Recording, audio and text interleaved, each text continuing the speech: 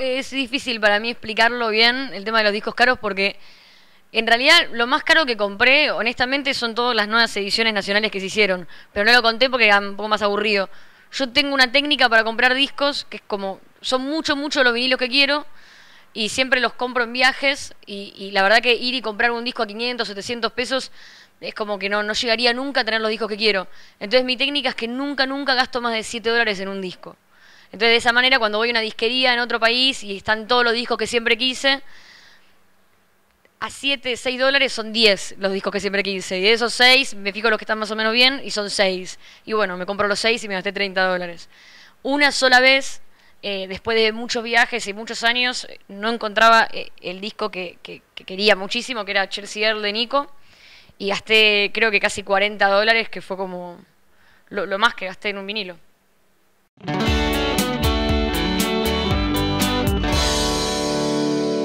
Gusta mucho Bowie, tengo todos sus discos.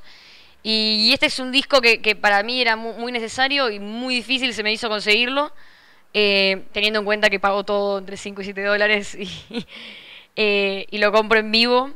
Eh, es una película que se llamaba Christian F., de, de, la época del muro de Berlín, principio de los 80, y Bowie canta mi canción favorita de todos los tiempos, que es Heroes, en alemán, en este disco.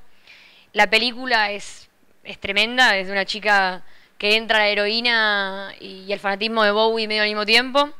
Y la banda sonora también es brillante y el disco es hermoso y completa mi colección de Bowie.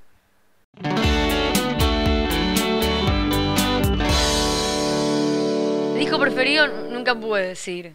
O sea, me, cuesta mucho. Todos los años es uno diferente. Pero hace varios años que el que más escucho es The Dream Syndicate eh, Medicine Show Dream Syndicate es una banda que yo siempre hablo de esa banda porque para mí vale mucho, mucho la pena que la gente la escuche. Es una banda más de los ochentas, pero que no, no tuvo mucho éxito. Y este disco en particular es el que menos éxito tuvo. Hay otro que tuvo un poco más, pero es el disco que lo compré hace muchísimos años por la tapa y terminó siendo uno de mis discos favoritos.